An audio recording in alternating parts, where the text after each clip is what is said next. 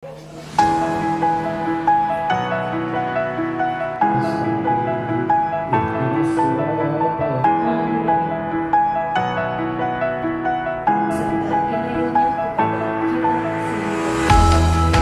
patriot, kami ini patriot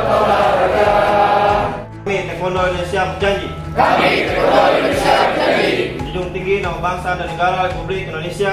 Menjunjung nama bangsa dan negara Republik Indonesia. Yang berlandaskan Pancasila dan Undang-Undang Dasar 1945 yang berlandaskan Pancasila dan Undang-Undang Dasar 1945. Pengcap Taekwondo Kota Tasikmalaya mengadakan kegiatan diklat dan penyegaran asisten penguji di Hotel Santika Tasikmalaya pada Minggu 21 Januari 2024.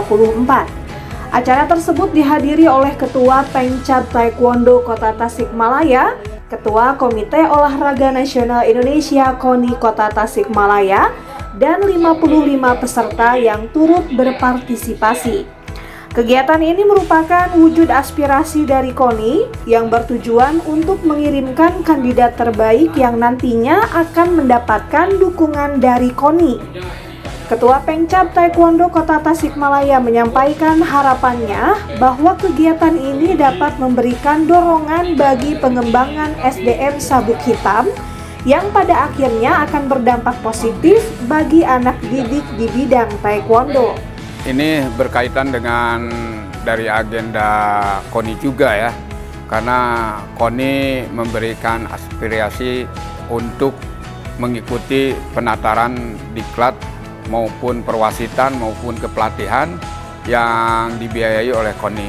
Nah, saya nggak mau istilahnya dibilang abal-abal dari pihak KONI. Nah, makanya uh, suatu kebanggaan KONI bisa hadir untuk menyaksikan diklat asisten penguji ini tujuannya yang mana nanti yang terbaik akan dikirim yang diutus melalui dana dari KONI. Peserta keseluruhannya ada 55 peserta, tapi yang mengikuti diklat awal itu 30, 35 peserta, sisanya yaitu penyegaran, yang mana kita setiap dua tahun sekali atau mengikuti uh, program dari Pengprov maupun dari PB ya. Jadi masa berlakunya itu ada masanya gitu. Jadi kalau misalnya si sabuk hitam tidak mengikuti kelanjutannya, otomatis dia tidak akan bisa ditugaskan lagi. Tapi kalau selalu mengikuti update terus, nah kita juga sama dari penguji nasional. Satu kali aja kita absen tidak mengikuti penyegaran, otomatis SIM-nya habis gitu. Uh, itu Pak Ketua. Jadi ini juga sama berlaku bagi para sabuk hitam di Tasik. Hari ini mengikuti diklat, ya otomatis kalau besok lusa atau tahun depannya ada kegiatan lagi diklat atau penyegaran, mereka harus ikut penyegaran. Ya, kalau enggak, nggak bisa ditugaskan lagi. Nah, itu ini udah aturan baku dari PBTI. Harapannya uh, sama mungkin tidak jauh beda dengan KONI ya.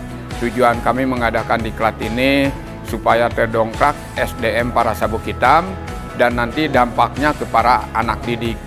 Ya, kesannya mudah-mudahan ini uh, kesan yang terbaik di akhir kepengurusan kami yang mana mungkin sejarah ya biasa kita diklat itu nebeng di sekolah-sekolah atau di gedung-gedung tapi kita alhamdulillah dengan doa dari KONI, doa dari semua kita bisa menyelenggarakan ya ini sangat-sangat istimewa lah selama kami memegang apa sabuk hitam gitu ya sampai diklat bisa di hotel.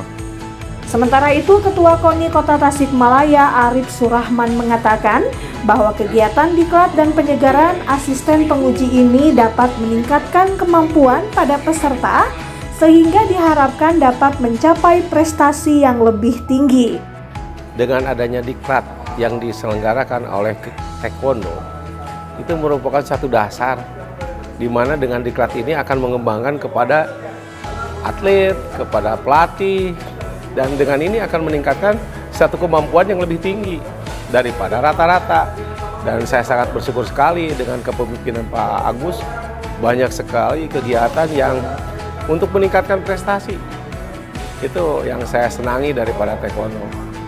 Saya berharap dengan kegiatan ini, saya yakin pada tahun 2026 untuk Porda akan meningkatkan, menghasilkan satu emas ya Pak Ketum. Amin, amin. Saya banyak harapan.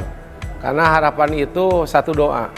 Kalau kita sama sekali sudah pesimis, saya yakin itu muncul itu lebih kecil. Dengan harapan, doa, insya Allah Allah akan mengabulkan. Terima kasih. Dari kota Tasikmalaya, tim liputan Tasik TV mengabarkan.